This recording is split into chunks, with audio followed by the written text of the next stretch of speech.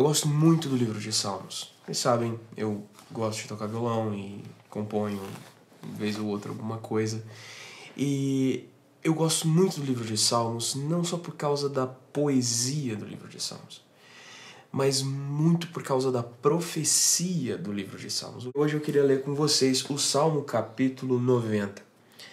Eu vou ler um versículo só do Salmo 90. Esse Salmo 90, o versículo 14, diz o seguinte: Satisfaze-nos a cada manhã com o teu amor, para que cantemos de alegria até o final da vida. Sabe o que eu acho interessante nesse salmo? E que na verdade é uma constante, é uma, é uma maneira dos salmistas pensarem, é uma maneira dos caras que compõem os salmos, os poetas da Bíblia, pensarem. A gente sempre entende louvor como sendo uma ação que nós fazemos para Deus, não é?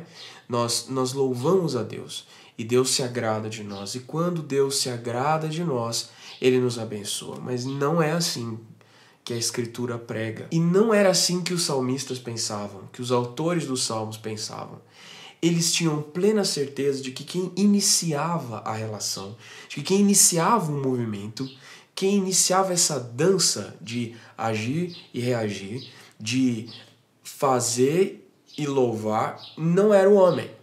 Não era o homem que, com o seu louvor, conseguia tocar o coração de Deus e dessa forma Deus se inclinava para ele. Não é isso.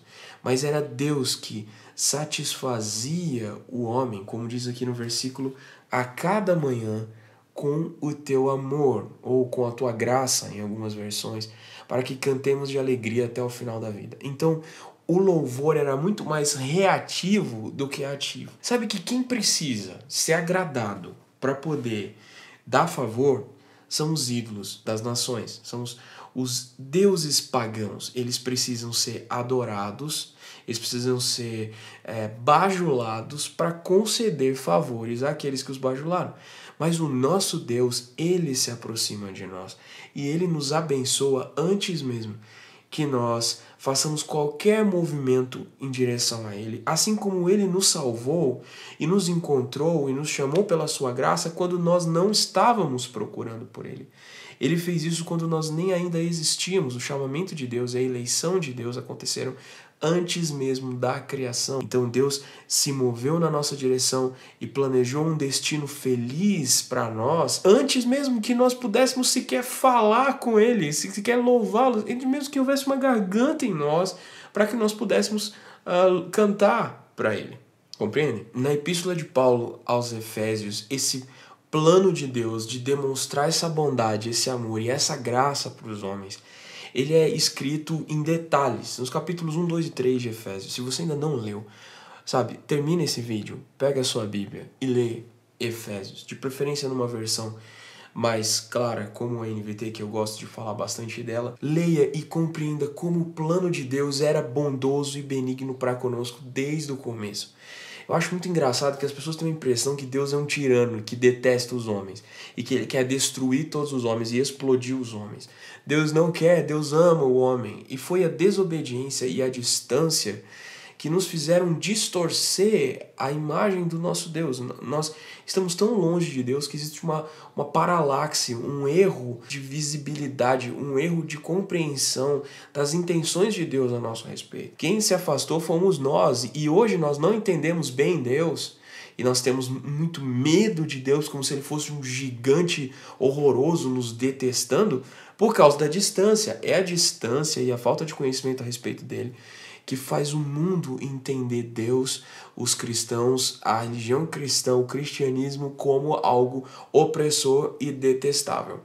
Se você tem ainda o conceito de que Deus te detesta e que ele quer te destruir, você precisa conhecer melhor a Deus através do que as escrituras nos revelam do caráter dele. E em Efésios capítulo 2, versículo 7, ele fala: "Portanto, nas eras futuras, Deus poderá apontar-nos, apontar-nos como exemplos da riqueza insuperável de sua graça, revelada na bondade que ele demonstrou por nós em Cristo Jesus. Vocês são salvos pela graça por meio da fé. Isso não vem de vós, é dádiva de Deus, não é uma recompensa pela prática de boas obras, para que ninguém venha a se orgulhar. Pois somos obra-prima de Deus, criados em Cristo Jesus, a fim de realizar as boas obras que Ele de antemão planejou para nós. Então, Deus tem nos saciado com a sua bondade, com a sua graça. E quando nós vamos a Ele em louvor, em adoração, e mesmo não a adoração musical, não a adoração de proclamação, mas a, a adoração de uma vida em adoração, de uma vida para a glória de Deus, nós não fazemos isso para que Ele se agrade de nós, nós fazemos isso porque Ele já se agradou de nós e nos escolheu antes de todas as coisas, e Ele está nos satisfazendo todas as manhãs manhãs, com a sua graça e com a sua bondade, e é por causa disso que nós cantamos até o final da nossa vida. É por causa disso que nós consagramos a nossa vida a Deus, porque Ele foi gracioso e bondoso conosco primeiro. Antes que nós sequer esboçássemos um movimento na direção dele, ele já estava de braços abertos para nós e planejando uma maneira de ter de volta até mesmo aqueles que tinham um coração mais endurecido, um coração mais incrédulo. Mas quando essas pessoas são alcançadas pela graça de Deus, elas se convertem a Jesus, elas se tornam uh, louvores para Deus e elas louvam a Deus de maneira efusiva. Esse mesmo espírito que havia no salmista, em Moisés, se vê em Paulo também caindo de joelhos diante de Deus e agradecendo e rogando e louvando. Os, os capítulos, eu já falei isso aqui no vlog, mas os capítulos de Efésios 1, 2 e 3 sempre terminam em doxologias, sempre terminam em louvores, em um louvor, um louvor apaixonado, um louvor um louvor cheio de entusiasmo, porque Paulo estava falando do plano de Deus e da bondade de Deus a nosso respeito. Não um Deus que nos detesta, mas um Deus que nos ama muito e que, porque nos ama muito, ele fez planos muito preciosos para nós. E esses planos incluem, inclusive, nós vivemos de maneira agradável a Ele para que nós sejamos felizes dentro desse plano eterno de Deus. E cara, se isso não é motivo para você louvar, louvar, louvar, agradecer e ter uma vida de gratidão diante de Deus, eu, eu não sei o que pode ser mais motivo do que isso, sério. Isso é um motivo de nós vivemos em gratidão e em louvor a Deus. Os salmistas e os profetas, eles só podiam imaginar quanto Deus seria bondoso, porque eles ainda não, não viam a plenitude disso. Isso foi revelado para nós no Novo Testamento com a encarnação de Jesus Cristo. Hebreus capítulo 11, versículo 39 fala assim: Todos eles, esses heróis da fé do Antigo Testamento, obtiveram aprovação por causa da sua fé. No entanto, nenhum deles recebeu tudo o que havia sido prometido, pois Deus tinha algo melhor preparado para nós, de modo que sem nós eles não chegassem à perfeição, ou eles não conseguissem ver a totalidade, eles não conseguissem entender tudo o que foi dito. 1 Pedro 1,10 concorda com esse pensamento, dizendo o seguinte: até mesmo os profetas queriam saber mais sobre essa salvação e investigaram a respeito. Quando profetizaram acerca da graça preparada para vocês, buscavam descobrir a que tempo ou ocasião se referia o Espírito de Cristo que neles estava, ao predizer o sofrimento de Cristo e a sua grande glória posterior, como por exemplo na profecia de Isaías capítulo 53. Foi-lhes dito que suas mensagens não eram para eles, mas para vocês. E agora essas boas novas lhe foram anunciadas por aquele que pregaram pelo poder do Espírito Santo enviado do céu. É algo tão maravilhoso que até os anjos anseiam observar. Olha como você é amado por Deus, por ter recebido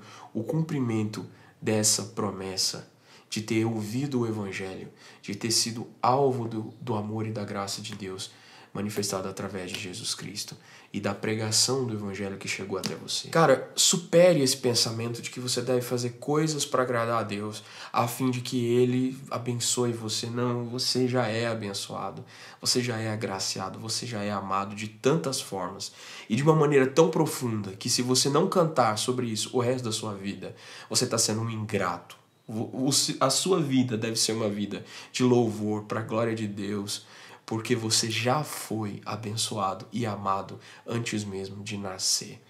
Que Deus satisfaça vocês com a sua graça, como Ele já tem feito, para que vocês cantem sobre isso a vida toda. Bom, se você gostou desse vídeo, compartilhe nas suas redes sociais. Isso ajuda muito a alcançar mais pessoas com essa mensagem. Não esqueça de deixar o seu gostei e de deixar um comentário para mim aqui embaixo. Vocês sabem que eu gosto muito quando vocês completam aquilo que eu falei com os comentários de vocês ou com outras referências bíblicas. Façam isso, por favor. Eu fico muito feliz. Você pode me seguir no Instagram e curtir a fanpage no Facebook. Tá aparecendo aqui na sua tela. E tem os endereços também na descrição. Tem meu contato de e-mail se você quiser falar comigo. E se você quer contribuir com esse trabalho, com esse ministério, você pode se tornar um patrão desse canal através do patreon.com.br David Mesquita. O endereço tá aqui também na descrição. Um abraço, fica com Deus e até o próximo vídeo. Tchau.